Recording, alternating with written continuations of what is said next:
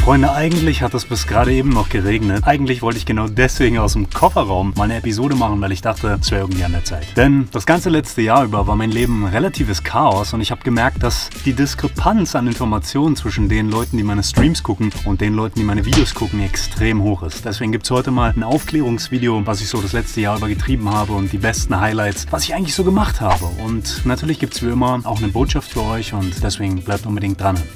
Dass ich das ganze letzte Jahr über in einer Sprachschule war und Japanisch gelernt habe, das haben wahrscheinlich die meisten mitbekommen. Und dass ich da Ferien hatte und letztes Jahr im Oktober meine Mutter nach Japan gekommen ist, das haben wahrscheinlich auch einige mitbekommen. Das war ein Riesenspaß und ich habe natürlich mit meiner Mutter all das gemacht, was ich hier die letzten ja, dreieinhalb Jahre über gemacht habe und habe das gebündelt, mehr oder weniger als Erfahrung meiner Mutter gegeben und habe mit ihr so viele Sachen gemacht, dass sie echt danach das Gefühl hatte, sie braucht von diesem Urlaub erstmal Urlaub. Wie gesagt, war das Ganze im Oktober und da war auch das Jidain Matsuri in Kyoto. Richtig geiles Festival, kann ich euch auf jeden Fall empfehlen, aber viele Leute und auch schon, ja, noch extrem heiß gewesen, muss man sagen. Die Zeit bis Neujahr ging dann eigentlich ziemlich schnell vorbei. Ich bin die ganze Zeit in die Schule gegangen, habe da immer mal wieder so kleine Problemchen gehabt, aber auch kleine Erfolge. Habe Halloween in Osaka verbracht, habe ganz viel Zeit mit Lillys Familie verbracht im Grunde und die Zeit tröpfelte so dahin.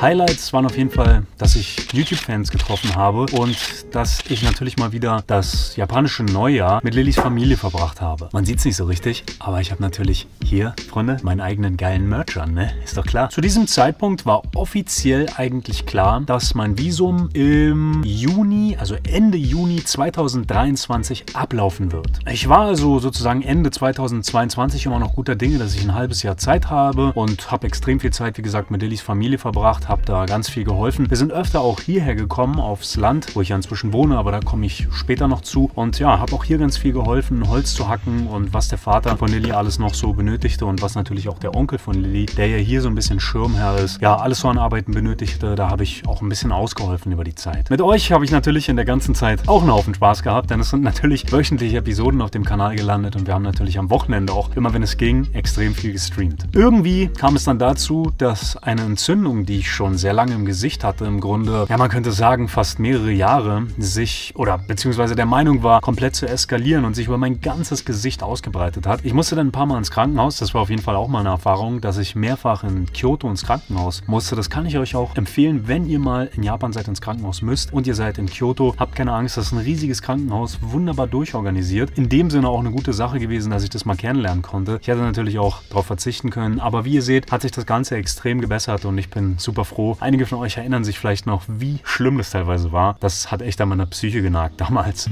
Klar war, dass die Schule am 15. März enden sollte. 15. März 2023. Und dass ich eigentlich auch in Kyoto wohnen bleiben würde. Doch es bahnte sich so langsam eine kleine Problematik an mit dem Vermieter, den ich in Kyoto hatte. Denn der fing an, die Rente, äh, die Rente, ja, im Englischen sagt man Rent, im Deutschen sagt man Miete, die Miete immer weiter zu erhöhen. Und ja, da war einfach auch schon ein bisschen Spannung zu spüren. Als es dann Februar wurde, kam der Vermieter auf einmal die Idee, die Miete ins Unermessliche steigen zu lassen. Ich hatte da eine kleine Auseinandersetzung mit ihm, weil ich zu ihm meinte, hey, pass mal auf, du hattest mir eigentlich versprochen, dass ich ja bis, sagen wir mal, Visumsende irgendwie bei dir wohnen darf, dass die Miete sich zwar erhöht, aber nicht so immens. Es ging da damals um fast 2000 Euro im Monat. Der Mann roch also sozusagen den ankommenden Tourismus und war der Meinung, er müsste die Miete so weit erhöhen, dass ich dann gesagt habe, ey, das geht nicht. Ich hatte ihn dann gefragt, ob er so kulant ist und mich bis 15. März in der Wohnung lässt, denn er wollte eigentlich ab 1. März die Miete erhöhen. Aber auch zu dieser Einigung kam es nie. Von jetzt auf gleich, mehr oder weniger muss man wirklich sagen, stand ich vor der schwierigen Entscheidung, wie es weitergeht. Denn ich hatte ja noch ein bisschen Zeit mit dem Visum, aber auf einmal hatte ich keine Wohnung mehr. Und es ist gar nicht so einfach, um was Günstiges zu finden. Ich hatte damals ungefähr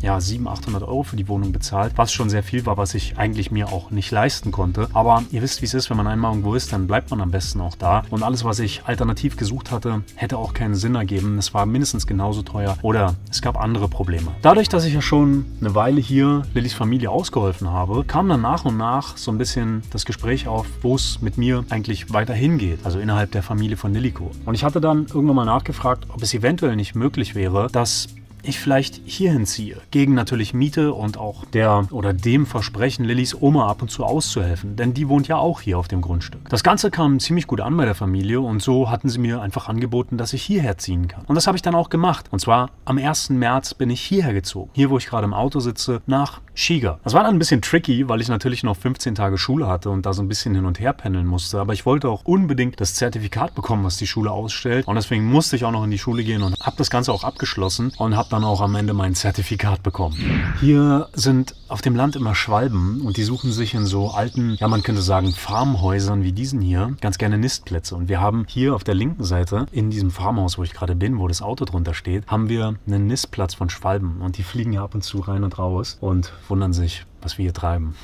Ja, ich war also ziemlich guter Dinge, dass ich jetzt einen neuen Wohnraum gefunden habe und im Grunde bis Ende Juni noch in Japan bleiben konnte. Und dann kam wie immer das nächste Problem. Man kennt es, Freunde. Die Sprachschule meinte dann zu mir von jetzt auf gleich, das war wirklich von einer Woche auf die nächste. Hey, übrigens, du darfst nicht in Japan bleiben. Eigentlich war jetzt alles perfekt. Es war alles durchgesprochen, mit Lillys Familie organisiert. Natürlich habe ich auch, sagen wir mal, vertragliche Verpflichtungen gemacht mit zum Beispiel dem Internetanbieter, den ich hier habe. Es war alles abgesprochen, alles in Sack und Tüten. Und dann kommt auch von wirklich von einem Tag auf den anderen kommt die Sprachschule um die Ecke und sagt mir übrigens, du musst in einer Woche waren es glaube ich damals oder zwei Wochen, musst du Japan verlassen. Ich war damals richtig, richtig sauer und bin direkt ins Büro der Schule gegangen und habe denen gesagt, dass das so nicht läuft, dass mir von dem Nyukoku Kandikyoku, also von der Immigrationsbehörde hier in Japan, versichert wurde, dass ich bis Ende Juni in Japan bleiben dürfte. Die Sprachschule meinte dann nein. Mit Tokio, also dem, der Immigrationsbehörde in Tokio, sei es so abgesprochen, angesprochen, dass die Schüler innerhalb von zwei Wochen das Land verlassen müssen, wenn sie ihre Sotsugyo machen, also ihren Schulabschluss. Ich habe mich dagegen extrem gewehrt. Ich war auch sehr emotional und ähm, wusste auch eine Zeit lang nicht, was ich tun soll. Es war eine sehr verwirrende Zeit, in der ich dieses richtig krasse Video gemacht habe von meinem Visum. Äh, ich war in der Zeit sehr kraftlos und ja, man könnte fast schon sagen, depressiv. Das Ganze nagt natürlich unheimlich an einem. Ihr könnt euch das vorstellen. Wenn man nie irgendwie weiß, wie es nächste Woche weitergeht, hast du irgendwann auch nicht mehr die Energie, so richtige Entscheidungen zu treffen. Natürlich Natürlich ist das eine Luxussituation, die ich mir irgendwo so ausgesucht habe, aber auch dieses Thema hatten wir hunderttausend Mal auf dem Kanal. Irgendwie ist diese Situation, in der ich anfangs als Reisender gekommen bin, ja ein Leben geworden. Ich lebe seit dreieinhalb Jahren hier in Japan und habe so viel dafür getan, dass ich auch hier bleiben konnte, dass das Ganze nicht mehr wirklich eine Luxussituation ist, sondern eigentlich ein ganz normales Leben, für was ich unglaublich viel investiert habe über die letzten, man könnte sagen, sechs, sieben Jahre meines Lebens. Dementsprechend tut mir das natürlich immer persönlich sehr weh, wenn mir Leute das aus aus dem Nichts, sage ich mal, einfach absprechen wollen. So wie zum Beispiel die Schule das getan hat. Dementsprechend gab es von mir eine Kampfansage und ich habe gesagt, bevor ich hier nicht richtig recherchiert habe, werde ich dieses Land ganz sicher nicht verlassen, nur weil ihr sagt, dass ich gehen muss. Das war auch die richtige Entscheidung, denn nach mehreren Telefonaten, auch mit dem Immigrationsbüro in Tokio, stellte sich heraus, dass es okay ist, dass ich bleibe und dass es absolut in Ordnung ist, bis Ende Juni in Japan zu bleiben. Somit war die Situation dann relativ schnell geklärt nach so zwei Wochen übelsten Depressionen und ich konnte mein Leben hier weiter fortsetzen. Ein kleines Zwischenhighlight war auf jeden Fall, dass ich mit Liliko nach Tsuruga gefahren bin. Das kann ich euch auf jeden Fall mal empfehlen. Das ist im Norden von Kansai wirklich eine ganz, ganz schöne Gegend und ähm, war wirklich ein schöner Ausflug gewesen, Wochenendtrip. Und das nächste Highlight war dann wirklich, dass ich hier, kurz nachdem ich hierher gezogen bin, die Chance hatte, hier bei einem Dorffestival, bei einem Mikoshi-Umzug dabei zu sein. Das sind diese Dinger, die bei Festivals auf der Schulter getragen werden, diese tragbaren Schreine. Und das war natürlich eine ganz krasse Sache, weil ich damit hier so richtig in die Community involviert wurde. Auch hier verging die Zeit dann bis jetzt wieder ziemlich schnell und ich habe ganz viel im Farmleben gelebt, könnte man sagen. Ich habe viel Holz gehackt, viel im Garten geholfen. Lillys Oma braucht natürlich viel Hilfe im Garten. Helfe ich immer wieder aus. Ich habe extrem viel Content produziert für euch, der auch noch in der Zukunft genutzt werden wird von mir. Also da habe ich auch in die Zukunft gedacht und viel produziert. Ich hatte die Gelegenheit, ein PR-Video zu drehen für eine Blueberry Farm, also für eine Blaubeerfarm. Ich habe Lidikos Vater über das letzte Jahr extrem viel ausgeholfen.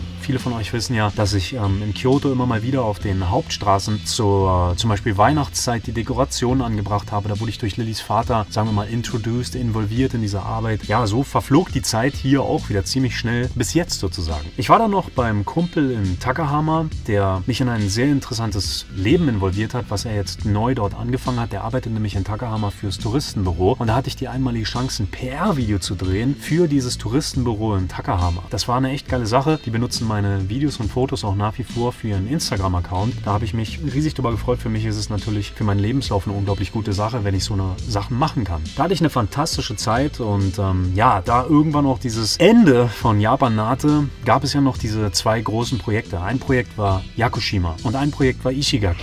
Beide Projekte waren von euch finanziert worden. Viele meiner Zuschauer haben dafür gespendet. An der Stelle nochmal vielen, vielen Dank dafür. Das war eine unglaubliche Aktion, eine unglaubliche Herzensaktion von euch, in der ihr dort viel Geld gespendet habt, was es mir möglich gemacht hat, mir einen Traum zu erfüllen und nach Yakushima zu gehen. Dort habe ich für euch eine ganz kranke Dokumentation gefilmt, die auch vielen Leuten gefallen hat. Schaut euch gerne mal auf den Kanal um. Ich weiß nicht, ob ich hier in dem Video einiges verlinke. Natürlich könnt ihr auch nach wie vor in meiner Google Bildergalerie reingucken. Ich habe da so einen Google-Ordner, da könnt ihr Bilder von mir erwerben als Support. Solltet ihr generell Interesse zum Beispiel an Fotos aus der Zeit haben oder von den Ausflügen, die ich gemacht habe, dann könnt ihr mich auch jederzeit persönlich anschreiben per E-Mail oder bei Instagram. Da kann ich euch natürlich auch Bilder zukommen lassen, wenn ihr das möchtet. Die Zeit auf Yakushima war insbesondere ja für mich was ganz krasses. Also nicht nur, weil es ein Lebenstraum war, den ich mir erfüllt habe. Die Zeit war einfach sehr intensiv. Und jetzt auch die letzte Woche, die ich in Ishigaki war mit Liliko, war recht schön. Das war ja mehr oder weniger auch eine Abschlussreise für mich und Liliko, falls ich dann wirklich Japan verlassen muss. Das war einfach echt eine super Sache. Da kommen auch noch ganz viele Episoden bzw. Content auf dem Kanal und natürlich auch Fotos. Ja, insgesamt einfach wirklich Hammer-Erlebnisse. Ich habe so viel erlebt in sechs, sieben Monaten im Grunde, dass es schon wieder auf keine Kuhhaut geht und ich mich manchmal richtig fast schon wirbelig oder sagen wir mal irgendwie dieselig fühle. Ja, die Situation jetzt gerade ist so, dass mein Visum offiziell eigentlich vorbei ist und ich eine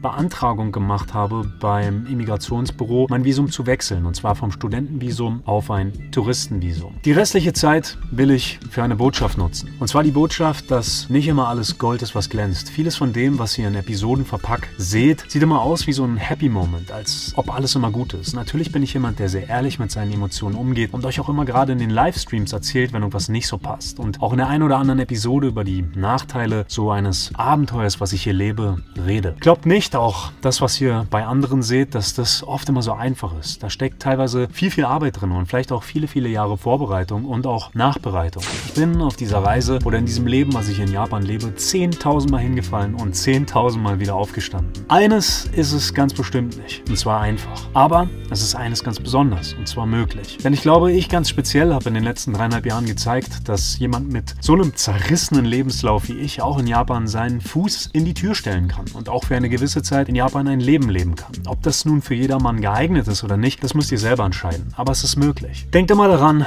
wo Licht ist, ist auch Schatten und andersrum. Versucht ein Buch niemals nach dem Umschlag zu beurteilen und glaubt nicht, nur weil alles so einfach aussieht, dass es das ist. Nichtsdestotrotz will ich, dass ihr unbedingt an euren Träumen arbeitet. Denn ich weiß, dass es viele da draußen gibt, die sich vielleicht wünschen, irgendwo anders zu leben oder irgendwo anders hinzugehen oder vielleicht sogar nach Japan zu kommen. Und ich glaube, dass eine meiner Sachen, die ich wirklich auf dem Kanal vermitteln will, ist, das möglich ist. Auch wenn es extrem schwierig ist, gerade für Leute wie mich, die ja echt keine Qualitäten vorzuweisen haben, um in Japan Visa zu bekommen, habe ich wirklich gezeigt, dass ich jede Möglichkeit genutzt habe, in die Schlupflöcher zu schlüpfen und euch diese Schlupflöcher auch aufgezeigt habe. Freunde, ich will unbedingt nochmal Danke sagen für die ganze intensive und verrückte Zeit, die ich auch mit euch verbringen durfte, für den ganzen Support, den ihr mir zukommen lasst und dass ihr dieses Abenteuer auch finanziell möglich gemacht habt. Denn dieses Abenteuer ist inzwischen mein Leben und dafür bin ich extrem dankbar. Und jetzt haut ab und jagt euren Träumen nach. Macht's gut. Ciao.